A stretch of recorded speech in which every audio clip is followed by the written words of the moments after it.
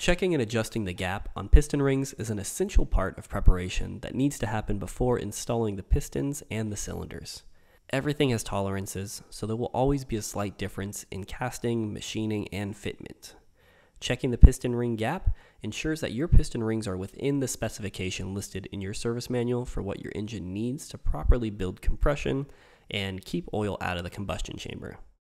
Before checking the gap, we want to quickly note that these motorcycles originally came with a thick, single-piece oil ring that has a standard gap value in the Honda service manual. Our new piston rings come with a modern three-piece oil ring that does not have a standard gap value and does not need to be checked. To check the piston ring gap, first insert the piston ring into the cylinder. It's important when checking the gap that the piston ring is level in the cylinder and sitting somewhere in the middle, not too close to the top or the bottom. Use the piston to press down the piston ring after it's inserted into the cylinder. Using the machined lines in the piston skirt as a guide allows you to ensure that you're checking all of the piston ring gaps at the same depth and that they are sitting completely level in the cylinders. Since the grooves on the piston are completely level and perpendicular, you can use them as a reference against the top edge of the cylinder.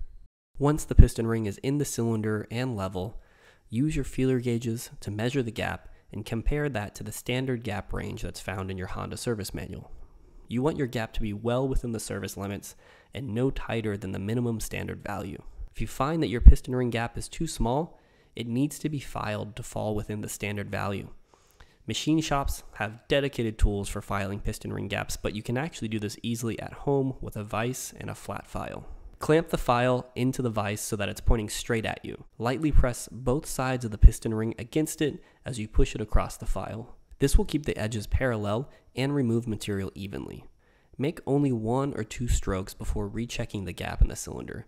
Usually, a few strokes is all you need to get most piston rings into the correct value.